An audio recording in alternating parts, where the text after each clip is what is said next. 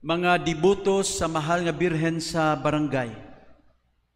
Mga igsuon ko diya ni Kristo kamong tanan nga ani karon uban nato sa simbahan ug sa daghan nga nakig-uban nato ning santos nga misa online. Happy Fiesta kaninyong tanan. Happy Fiesta. Atong pakpakan ang mahal nga Birhen Maria. Mangutan ako, nga naman nga ang mga matuuhon, bisan taliwala sa pandemya, happy man. Mga igsoon, labing siguro, kinitungod, kay matag usa ka nato, nagsali nga bisan unsay mahitabo, dili tapasagdan sa Dios. Amen? Amen. Ang tananing kalibutan lumalabay ang kasakit, apil gani ang kalipay. Pain is never permanent. Only God is permanent. Ang tanan ning kalibutan mula bayra. Busa mga igsuon, kung doon na mo'y mga problema karon, ayaw mo pawala og paglaom kay kana mula bayra. Kuno galing hayahay mo karon komportable ang inyong kinabuhi. Ayaw mo pag mapahitason. Kay bisan ka na mulabay rasad. Amen? Amen. Pakpakan na to ang Diyos. There is this inspiring quotation from an anonymous author. It says, Live in such a way that those who know you but don't know Christ will come to know Christ because they know you. Nga sa ato pa, pagpuyo og kinabuhi nga maayo, aron nga kadtong nakaila nimo nga wala makaila ni Kristo, makaila ni Kristo tungod sa ilang pagkaila nimo. Mga igsoon, kining maong panultihon, naghisgot ug matinud-anong pagsaksi, witnessing, nga mao ang bukasyon sa matag Kristiyano. Diya sa Ebanghelyo karong adlaw from the Gospel of St. Luke chapter 12 verses 8 to 12. Si Jesus mingon, bisan kinsay mo angkon atubangan sa katawhan nga siya ako ah. Mausab ang buhaton kaniya sa anak sa tao at tubangan sa mga anghel sa Diyos. In other words, if we witness for Him on earth, He will be our witness in heaven. Mga igsoon, ang pagsaksi dili lang pinaagi sa pulong, kundili og labaw tanan sa buhat. If we believe in Christ and call ourselves Christians, Our lives and our actions should show it. Dapat lang dili ba? Kung mutuot ta ni Kristo ug nagpaila sa atong kaugalingon nga Kristiyano, ato ning pamatud-an pinaagi sa atong kinabuhi nga gipuy-an. Pinaagi sa atong mga pulong ug binuhatan. Para sa usa ka sumusunod ni Kristo, niadtong bag-ong sinugdanan sa simbahan. Ang pagingon nga Kristiyano ako, nagpasabot og pag-atubang sa mga pagpanglutos. Kundili manggani pagsakripisyo sa kinabuhi. Abi ninyo mga igsuon, ang santos nga atong pasidunggan ugma, Oktubre 17, usa ka obispo nga nahimong martir. Ang iyang pangalan San Ignacio. Siya ang ikaduhang obispo sa Antioquia. Niadtong tuig Sinto City, 107. Gamay pa kaayo ang simbahan. Usa ka mabangis nga emperador nga ginganlag trahan ang nibisita sa Antioquia o gipapili niya ang mga Kristiyanos didto.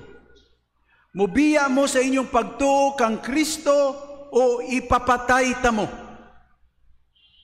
Si Ignacio ni dumili sa pagbiya kang Hesus o gihukman siya nga patyon didto sa Roma. Gipakaon siya sa duha ka mabangis nga leon didto sa lugar nga gitawag og Circus Maximus. Ang Coloseo ug ang Circus Maximus ug moadto mo sa Roma karon naa pa ang ilang ruins. Mao ang lugar diin libo kalibo ka mga Kristiyanos ang gipakaon sa mga mabangis nga mananap isip kalingawan sa mga paganong Romano. Mga igsoon, kung ingon ni ini ang dangatan sa mga sumusunod ni Kristo karon, aduna ba kahay maisog nato nga moangkon nga Kristiyano ug mopakita sa iyang pagtuo sa Dios? Makaya ba ka nato nga bisan gani gamay nga pagsuway mo reklamo naman ta? Gamay lang gani nga kalisod og problema, dili ba? Mangluod naman ta sa Ginoo ug ang uban muhunong sa pagampo. Gamay lang gani nga bikil sa kura o sa pare o mga kauban sa parokya, dili naman ta mo simba. Hilom ra ba? Naigo tingani ay. Sa atong panahon o sitwasyon karon dinhi sa Pilipinas, gamay ra ang posibilidad nga kita mahimong martir o patyon tungod sa atong pagtuo. Apan bisan pa ni ini, kita gitawag nga muhimo og pagsaksi pinaagi sa inadlaw-adlaw nga pagbuhat og maayo para sa uban sa ngalan ni Kristo. Whoever wishes to be my disciple must deny himself, carry his cross, and follow me. Kini ang giingon ni Kristo kanato. Ang atong bukasyon, dili ang pagpahayahay sa kaugalingon. Dili ang paghimong komportable sa atong kinabuhi, kundili ang paghatag og kaayuhan sa uban. Ingon niini si Kristo, ug ingon usab niini dapat kitang mga Kristiyano. Karong adlaw mga igsoon, gipasidunggan nato dinhi ang atong patrona, ang Birhen sa barangay nga si Maria. Si Maria maoy labing una nga sumusunod ni Kristo. She is the first one to follow her son. And she is not only the first follower, but the finest of all followers, the most authentic of all disciples. Busa mga igsuon, kung gusto ta masayod unsay atong buhaton aron makasunod ug maayo kang Kristo, arita mo duol ug magpatudlo kang Maria. Si Maria wala magpataas sa kaugalingon. Bisan siya gidayig sa anghel ug giingnan ang Dios na himuot kanimo, puno ka sa grasya, ug bulahan ka sa mga babae nga tanan. Siya mapaubsanon nga mitubag. Sulugoon ako sa Dios.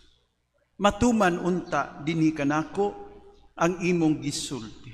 Sulugoon. Bisan siya gihatagan sa dakong pribilehiyo nga mahimong inahan sa anak sa Dios. Wala gyud siya magpahangad ug labaw na nga wala magpatagad. Hinoon, dali siya nga miadto sa iyang paryenteng Isabel, nakiguban ug nagatiman kaniya samtang kini nagsabak sa gulang nga panuigon.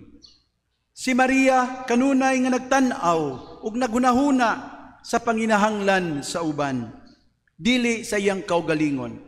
Tanawa ragod, sa kadaghan sa mga bisita sa kumbira sa kasal, siya lamang ang nakahinong nga ang bagong kinasal nahutdan na og bino para sa mga bisita. Ug sanglit dili gusto ni Maria nga maulawan og masakitan ang bagong kinasal, milihok siya dayon ug mihangyo sa iyang anak aron kining magtiayon matabangan ug dili maulawan. Mary, just like her son Jesus, always thought of the well-being of others, not of her own. Mga igsoon, diha kang Maria, makita nato ang usa ka sumusunod ni Kristo nga nagsaksi sa hilom apan sa matinud-anon nga paagi. Silent but pure witnessing. We pray that we can do the same thing. Pagkanindot. Just try to imagine kung tanan nato nga mga pangulo sa gobyerno o sa simbahan magbuhat sa ilahang trabaho sa pagpangalagad sa hilom apan matinud-anon nga paagi. How beautiful that can be. When we, your leaders, will begin to serve not for our own convenience, but for the convenience of the people of God. Mga igsoon na ay nag-ingon, a true Christian is like a candle. It consumes itself slowly and silently to light the way for others. Matagbuhat nga maayo, no matter how small, nga atong himuon sa hilom ug sa mahigugmaong paagi, mahimong usa ka buhat sa pagsaksi sa Ginoo nga maghatag og kahayag sa isig katawo. Magampo ta mga igsuon nga kita mahimong ingon. And we don't forget this. Live in such a way that those who know you but don't know Christ will come to know Christ because they know you. Happy Fiesta kaninyong tanan. Viva Birhen sa Barangay! Pakpakan nato ang mahal nga Birhen.